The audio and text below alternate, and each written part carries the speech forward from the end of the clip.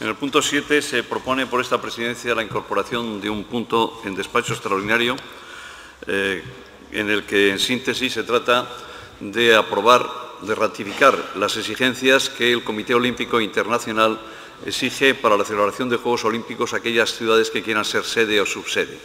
Hace aproximadamente tres semanas y, en todo caso, con posterioridad al último pleno de la corporación, fui convocado en Madrid por la alcaldesa de Madrid y el presidente del Comité Olímpico Español, junto con otros siete alcaldes de distintas ciudades españolas, para ratificarlos en nuestra solicitud de que en el caso de que en el año 2020 se adjudiquen por fin la organización de los Juegos Olímpicos Internacionales a Madrid, Valladolid se ratifica en su petición de subsede para, eh, para el deporte de fútbol. Eh, no hay compromiso económico ninguno, pero sí la garantía de poner las instalaciones, la seguridad, la limpieza, etcétera, al servicio de este tema. En aquella reunión se nos instó a que, en la medida de lo posible, estos acuerdos fueran adoptados por el Pleno de la Corporación. A algunos no les iba a dar tiempo porque tienen que presentarse la semana que viene y lo harían Junta de Gobierno. De hecho, no les oculto que aquí la asesoría jurídica ha dicho que podía ser también la Junta de Gobierno, pero hemos consultado y parece que si lo que piden es que sea por el Pleno, pues eh, parece más razonable que quede claro que al menos los grupos mayoritarios de la corporación están detrás de esta apuesta de la ciudad por el tema. Por lo tanto, lo primero que solicito al Pleno es la aceptación como incorporación, mm, como punto fuera del orden del día, con carácter extraordinario, conforme establece el reglamento de este punto. ¿Alguien se opone a la incorporación? Se acepta por todo el mundo que se incorpore. A continuación, se somete a, votación el acuerdo que tienen, yo creo, todos ustedes. Sí, señor Sarabia, pero muy breve, por favor. Sí, es que es un acuerdo, es que no es ninguna tontería. O sea, ha dicho que no hay compromiso económico alguno y yo tengo aquí delante el informe de intervención donde dice Todas estas obligaciones tienen efectos económicos, tanto por pérdidas de ingresos a percibir como por incremento de gastos. Lo dice el informe eh, de intervención y si quiere repasamos lo que es, por supuesto que tiene, que tiene contenido económico, por supuesto, y altísimo. No es una cosa baladí. Entonces, yo no sé, la prisa, ha estado viendo el expediente y la prisa es que lo quieren tener la tercera semana de noviembre, pero dicen que es para traducirlo porque luego lo tienen que llevar el 7 de enero. Pues se podía alargar un poco y lo podíamos ver con un poco más de tranquilidad. A mí me parece que es un asunto muy importante, nada más.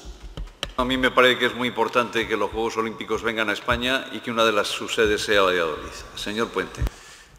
Sí, para explicar en tres puntos brevemente la posición del Grupo Municipal Socialista. Nosotros hemos apoyado que Valladolid sea subsede de los Juegos Olímpicos del año 2020, si al final se le concedieran a Madrid, y este no es más que una, eh, eh, un, requisito eh, plenamente coherente con eso, que es el ofrecimiento de las infraestructuras de la ciudad.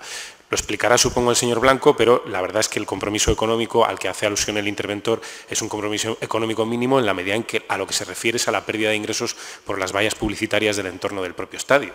y, bueno, y la puesta a disposición de las infraestructuras municipales, en este caso del estadio. Por tanto, pongamos las cosas en justo término, el compromiso económico no es que sea excesivamente importante. Segundo, eh, apoyamos esto y dejamos claro que no hay predisposición ninguna del Grupo Municipal Socialista a apoyar cuestiones que plantee el Partido Popular. Lo digo eh, al, socaire de lo que ha pasado hoy aquí por la mañana. Es decir, nosotros nos podemos oponer libremente a aquello que consideremos que no es bueno para la ciudad, pero también pactar aquello que creamos que es positivo. En eso entendemos que hacemos una posición equilibrada. Y tercero, hombre, ha entrado en despacho extraordinario, podía haber entrado también la, moción en la que estábamos de acuerdo en relación con el apoyo a la prensa eh, libre en nuestro país, que, aunque no se llegó a debatir en la Junta de Portavoces del viernes, por la misma razón podía haber entrado hoy. Nada más, muchas gracias. Señor Blanco.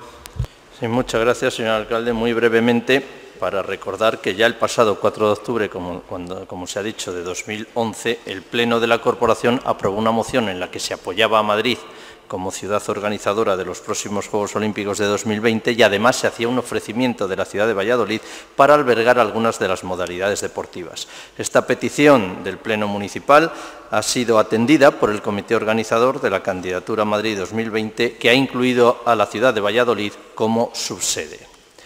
Ahora bien, de lo que estamos hablando ahora es que la organización de estos Juegos Olímpicos pide el otorgamiento de una serie de garantías, garantías que son, por otra parte, garantías estándar para todas las ciudades subsede Estas garantías consisten fundamentalmente en apoyar firmemente la candidatura de Madrid como ciudad anfitriona de los Juegos Olímpicos 2020, garantizar los servicios públicos, estamos hablando de transporte público de viajeros, seguridad ciudadana, ordenación del tráfico de vehículos, etcétera, pues, y poner a disposición del comité organizador de los Juegos Olímpicos las instalaciones de titularidad municipal.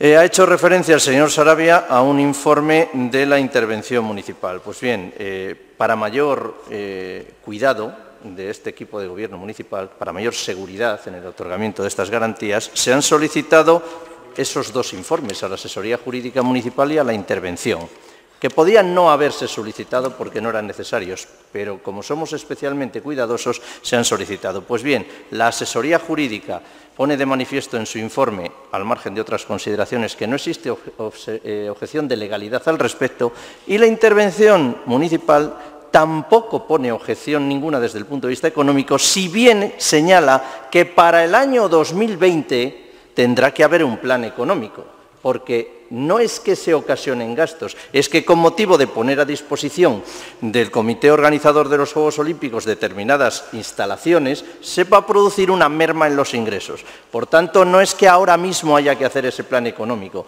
se habrá que hacerlo en el futuro si eh, las necesidades así lo aconsejan. Por tanto, eh, solo me resta mm, agradecer eh, al, señor Puente, como presidente del Grupo Municipal Socialista, el apoyo cerrado a esta iniciativa, eh, que desde luego eh, coincidimos en que es sumamente beneficiosa para la ciudad de Valladolid, no solo por la promoción deportiva que va a suponer, sino también desde el punto de vista de la promoción como ciudad y de los beneficios de carácter económico que va a llevar consigo. Muchas gracias. Muchas gracias, señor Blanco. Se somete a votación el punto 7 del orden del día. ¿Votos a favor? Votos en contra, abstenciones, se aprueba con 26 votos a favor y tres abstenciones.